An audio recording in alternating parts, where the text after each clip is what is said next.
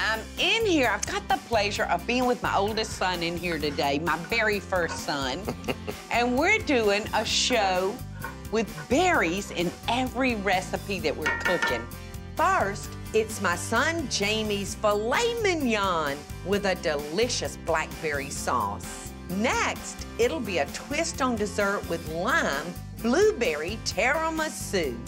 And how about a refreshing raspberry sorbet?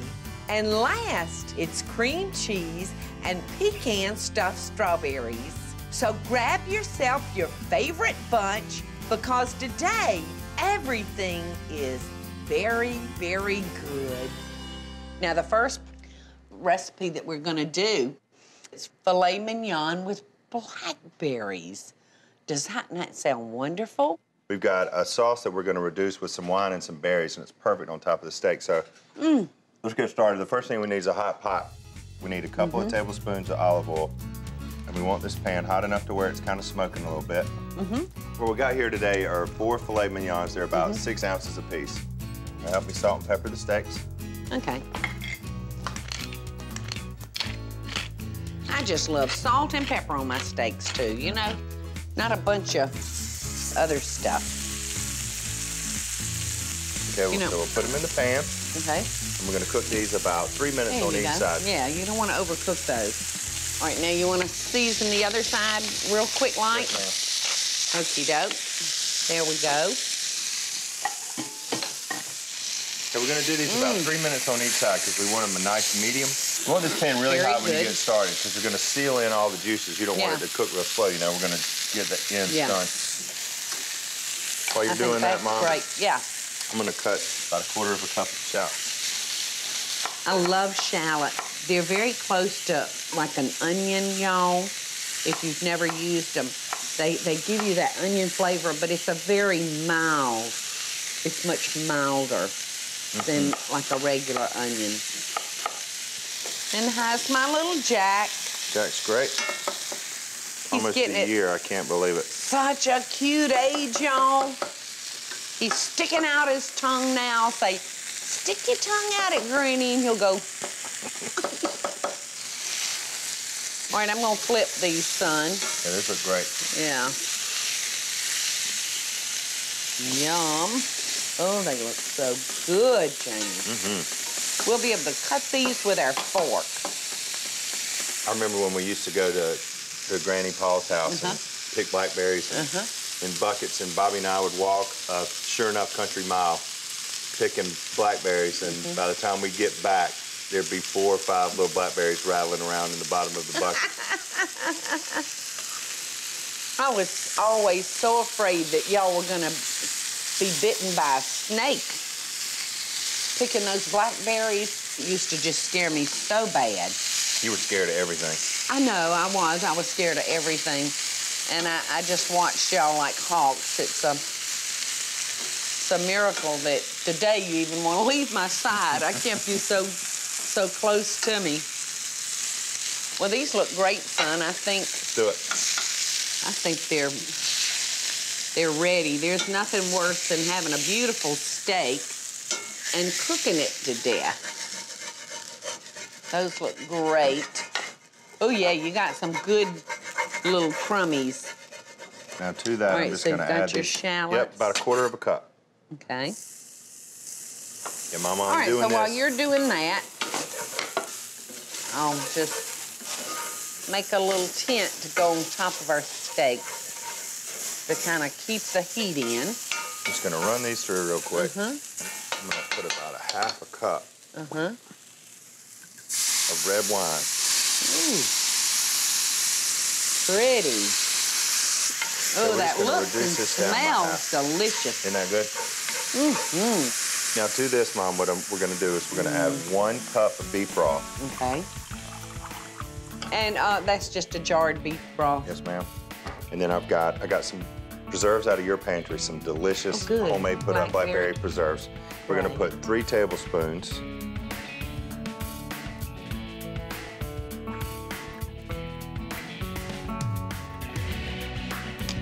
Now we gotta wait a little bit longer. We're gonna reduce this by about a half. But while this is doing, let's do a compound butter to put on the steak. Okay, Butter on okay. steaks, hmm, And plus with fresh berries infused, come on. Okie doke. So as many times as we've done this, you know what we're doing here. Mm-hmm. This is a room temperature butter. This is just a mm-hmm. stick of butter. Mm-hmm. It's nice and soft. We probably got a fourth of a cup of blackberries here, and I'm kind of just mushing those up, getting those ready for your butter. And you can finish kind of mashing them up now that they're in there. It's nice and soft. Mm-hmm. Yeah, because you've got your butter at room temperature, so it's gonna be very, very soft. so we're gonna need to use some plastic wrap to mold our butter back into shape. We're gonna roll it in a log, and then you can either put this in the refrigerator for it to firm back up, or you can store it in the freezer. And it can probably last up to a few months in the freezer. So you can pull it out and you can use it on biscuits or waffles or It don't last that long in our house. But even better than that, it's gonna be fabulous on our filet mignon. Up next, lime blueberry tiramisu. And later, a refreshing raspberry sorbet and delicious cream cheese and pecan stuffed strawberries. I so hope y'all are enjoying the show. And if you do, be sure to click like, subscribe, and the notification bell so you'll never miss a video. And we'll be right back after the break. Hey, y'all, welcome back. If you've just joined us, we're fixing to plate up a filet mignon with a blackberry sauce and a blackberry butter. All right, so you've reduced your Two- red wine, beef broth, your shallots, Yep. and three tablespoons Of of blackberry Fresh preserves, preserves. right? And now that we've reduced that down by half, I'm gonna Uh-huh. whisk in some two tablespoons of butter. Okay. I'm gonna put just a little mashed potatoes on our plate to kind of. Keep the steak company.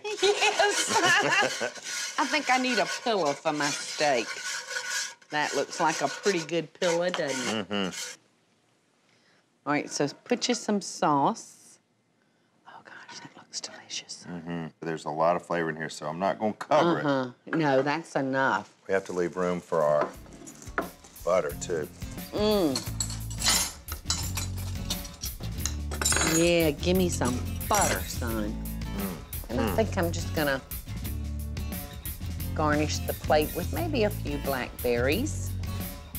Maybe right over there. And one for you, and one for me. Oh, this looks delicious.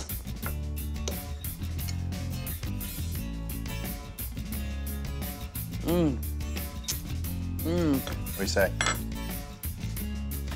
I love the flavors going on in here. Mm -hmm. The little sweet and the savory and mmm. Well, listen, I've got a real treat for us down at the other end of the counter. Uh-huh.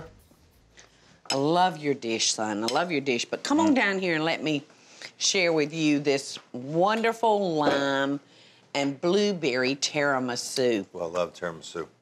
You know what the word tiramisu means when it's translated into English? Fattening cake? That sounds about right. but no, that word transfers into pick me up. But ours may just be a fattening cake. well, this is so easy to make. We don't have to turn on not the first eye on the stove. So this is a great recipe for a hot summer day. I'm gonna take one pint of heavy cream. I'm not gonna make it like a whipped cream that we'd serve on top of our desserts. I'm gonna beat it just until it's kind of like thick. So you need a quarter cup of Uh-huh, I powdered need a quarter of a cup. And you can add it kind of slowly. Just enough to sweeten our whipped cream. There we go. It's on the way. Okay, son, so you start layering the lady fingers for me, please. my 13, a 13 by 9 by 2 dish. You can buy lady fingers two different ways, filled and unfilled. So for this particular dessert, I want mine unfilled. Now I've got one pound of mascarpone cheese right here that we're gonna add to our heavy cream. Just gonna stir that together and you can see that our whipping cream is not totally whipped because we want this to kind of run over into our lady fingers and get them a little moist. All right, so Jamie, you are brushing our lady fingers with limeade concentrate. It's just from a can. You buy it in the frozen food section of the grocery store. So all we're gonna do is pour about half of that on top of these lady fingers that Jamie has brushed with the limeade concentrate. Mm-mm. I know it. I love you, Mama. I love you too, son. Very, very much. All right, half of this. We have just an ordinary blueberry pie filling that you pick up in the bacon section at your grocery store. All right, now another layer of lady fingers and do them the same way, son. Oops. Spoon fall in your mouth? Mm-hmm, the spoon fell in my mouth. Sometimes that just happens. All right, and you'll want to brush those with some more limeade. And then we're gonna put the rest of our uh, cream mixture on top of that. And then the last thing we're gonna put is the rest of our blueberry pie filling.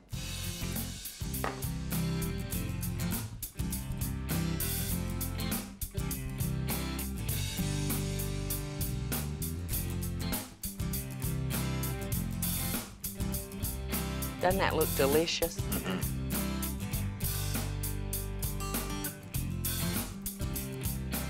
Yum. Yum. You can see the beautiful colors that we've got going on mm -hmm. in this dish, the white and the purple. All right, so all we have to do now, y'all, is wrap it, put it in the fridge, and let it um, soak for just eight hours. That's gonna be the trick. You may wait eight hours. Listen, we're going to be right back. We got something else really, really good coming up. How does a raspberry sorbet sound?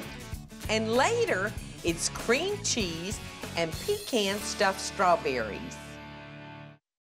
I hope y'all are enjoying the show, and I want to hear from you. Tell me what recipes or videos you'd like to see me make by just leaving a short comment below. Now, let's get back to the show, y'all.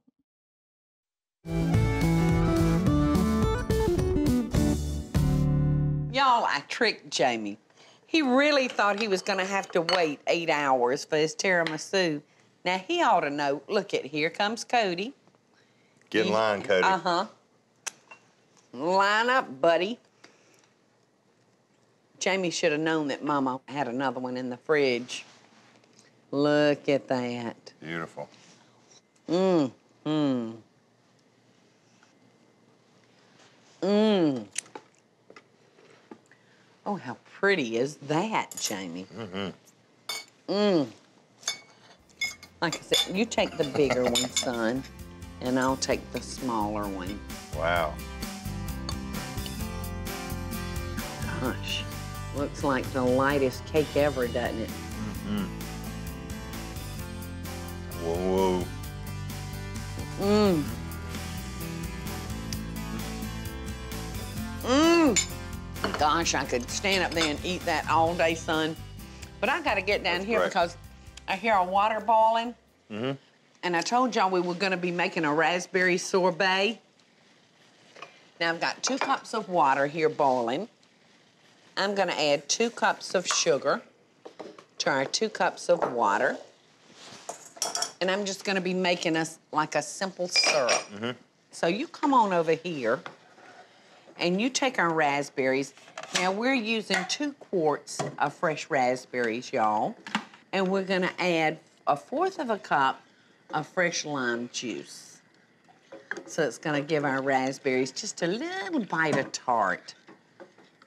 And we're gonna let this syrup cook until everything has melted real nicely in it. Mm-hmm. And then we're gonna let this cool. So I have one that's already dissolved very, very nicely and cooled over here for our sorbet because it would be really, really tough to start out making a sorbet with a boiling hot liquid. Those look beautiful. So the fourth of a cup of lime juice.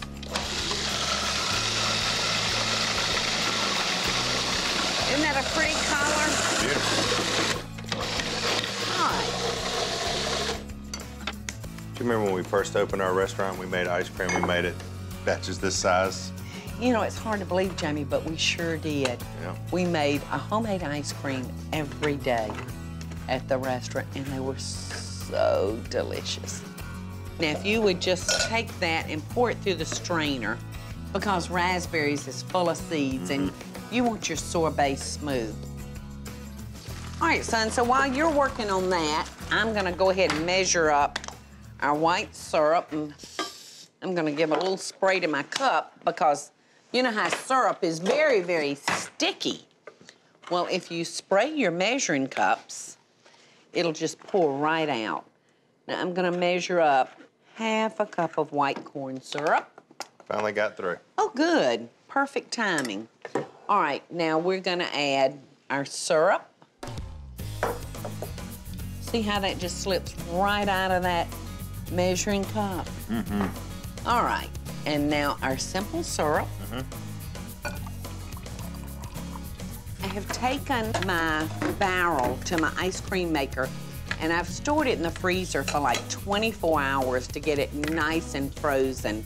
And that's very important when you're using home ice cream makers. And so if you'll just pour that in there, then we'll turn on our machine. And we're gonna have a beautiful tart raspberry sorbet. There you go. Mmm. Ooh, that's so Is good. that good? We're gonna store it in the freezer overnight, let it continue to get hard all the way through. So you got something you're cooking next? It's so sweet and so simple. It's a stuffed strawberry. It's a perfect hors d'oeuvre, something to have when guests are coming over. Y'all stick around. We'll show you when we come back. Stuffed strawberry? Yeah. Yum. I so hope y'all are enjoying the show. And if you do, be sure to click like, subscribe, and the notification bell so you'll never miss a video.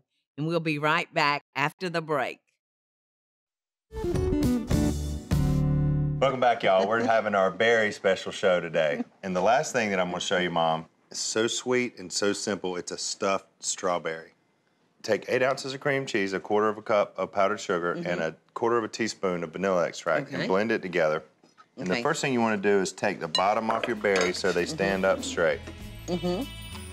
And we're going to take this Fourth knife. of a teaspoon. Yes, ma'am. I'm gonna take these strawberries and from the top, I'm gonna make a crisscross cut. Not going all the way through the mm-hmm. berry. Mm-hmm. All right, well, I've got your cream cheese. That cream cheese was real nice and soft. So I've got that soft. Okay. Just And I get it see in your piping some- bag. This is a store-bought piping bag, but you can make your own by cutting a tiny hole in the corner of just a plastic storage bag. You see, we'll just be able to lay these open.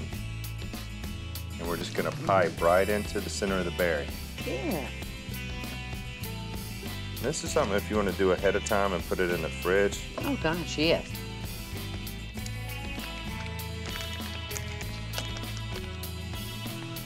Okay, so in there, See, once you get them started, it'll kind of push the berry up there. mm-hmm.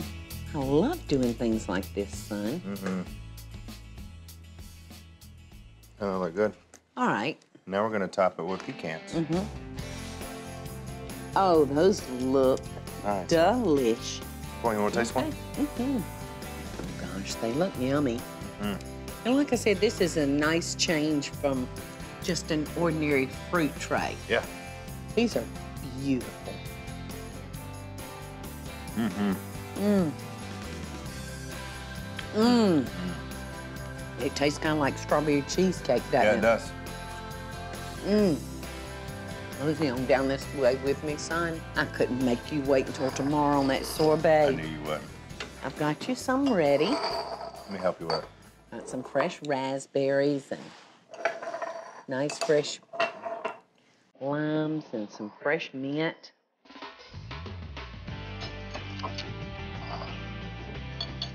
How refreshing is that? If we could just put some chocolate on it.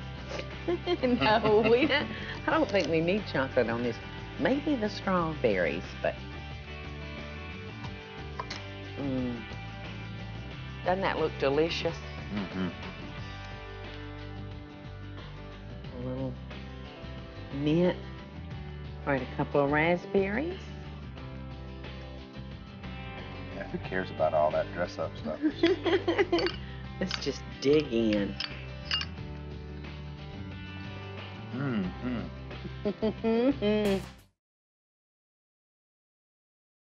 Hey, y'all, it's Paula Deen. Now, if y'all enjoyed this week's full episode Friday, be sure to like it and click the subscribe button as well as the notification bell to be alerted when I post a video. Love and best dishes, friends.